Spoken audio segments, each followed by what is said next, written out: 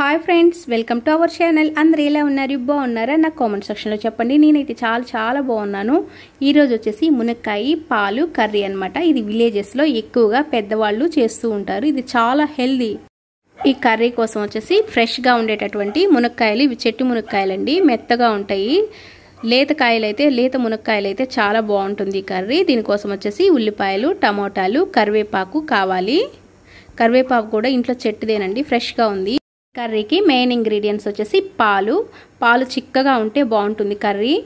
ఇప్పుడు ఒక గిన్నెను తీసుకుని స్టవ్ మీద పెట్టుకుని కర్రీకి సరిపడా ఆయిల్ వేసుకోవాలండి. ఆయిల్ వేసుకున్నాక దీనిలో వచ్చేసి తిరగమాతగా ఆవాలు వేసుకోవాలి. ఆవాలు ఉల్లిపాయలు వేసుకున్నాను. దీనిలోకి అదేవిధంగా పసుపు ఉప్పు కారం ధనియాల పొడి ఉంటే చాలు. కొద్దిమంది అల్లం పేస్ట్ కూడా వేస్తారండి. అప్పుడు అది మసాలా కర్రీలాగా అవుతుంది. ఫ్రెష్గా కరివేపాకు వేసుకోవాలి. ఇప్పుడు ఆయిల్లో తిరిగి మాత వేగేటట్టు ఉల్లిపాయ వేపుకోవాలండి. కొద్దిమంది టమోటాలు కూడా వేసుకోరు కానీ నేనైతే టమోటాలు కూడా వేసాను. ఇప్పుడు తిరిగి మాతలో ఉల్లిపాయ వేగిపోయింది కదా ఇప్పుడు మనం కట్ చేసి పెట్టుకున్నటువంటి టమాటా ముక్కలు వేసుకోవాలి. ఈ టమాటా ముక్కలు కూడా బాగా వేగేంత వరకు వేపుకోవాలి. కొంచెం గ్రేవీ ఎక్కువ వస్తుందండి. టమాటా వేస్తే కొద్దిమంది అది కూడా వేయరు కానీ ఇది చాలా హెల్దీ అనమాట ఇప్పుడు వచ్చేసి టమాటా వేగిపోయింది కదా ఇందులో వచ్చేసి కర్రీ కోసం పసుపు వేసుకోవాలి. తర్వాత ఇందులోనే కొంచెం సాల్ట్ కూడా వేసుకోవాలి. ఇప్పుడు వేసుకున్న తర్వాత ఇది మొత్తాన్ని బాగా కలుపుకోవాలి.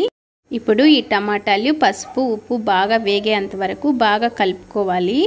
టమాటా బాగా వేగితేనే కర్రీకి చాలా టేస్ట్ వస్తుందండి. పూర్వకాలంలో బాలింతలకు ఎక్కువగా ఈ కర్రీ పెట్టేవాళ్ళంట పెద్దవాళ్ళు. ఇప్పుడు వచ్చేసి ఇవి బాగా ఏగిపోయింది కదా.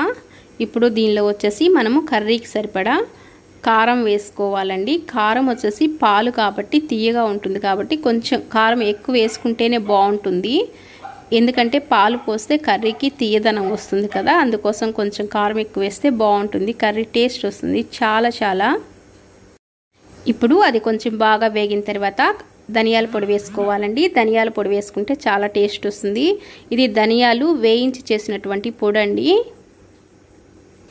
ధనియాల పొడి వేస్తే కర్రీకి చాలా టేస్ట్ వస్తుంది.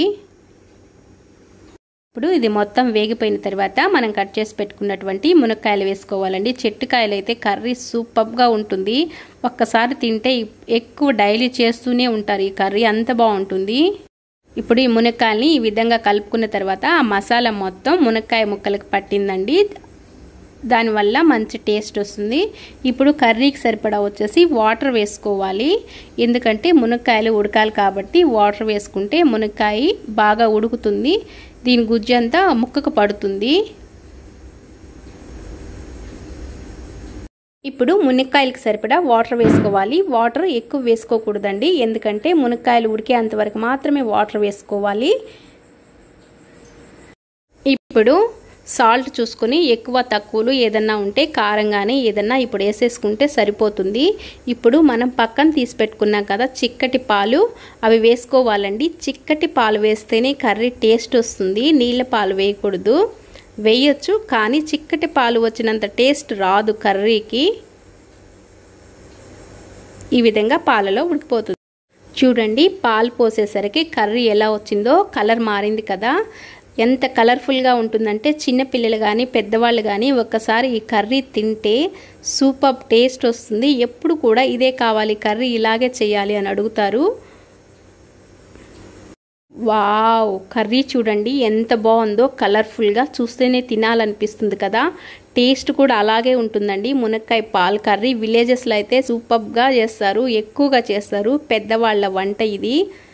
కానీ చాలా టేస్ట్ వస్తుంది ఫ్రెండ్స్. ఒకసారి ట్రై చేయండి. చాలా బాగుంటుంది. ఇది అన్నంలో వేసుకుని తింటే సూపర్గా ఉంటుంది. ఎప్పుడు చేసుకునే కర్రీలాగే కాకుండా అప్పుడప్పుడు కొంచెం వెరైటీ మారుస్తుంటే మనకు కూడా తినేదానికి చాలా చాలా బాగుంటుంది. ట్రై చేయండి. తప్పకుండా మీరే చెప్తారు నాకు. మీకు ఈ వీడియో నచ్చిందా? నచ్చినట్లయితే లైక్ చేయండి షేర్ చేయండి కామెంట్ చేయండి. ప్రతి ఒక్కరు సబ్స్క్రైబ్ చేయడం మాత్రం అస్సలు మర్చిపోదు ఫ్రెండ్స్.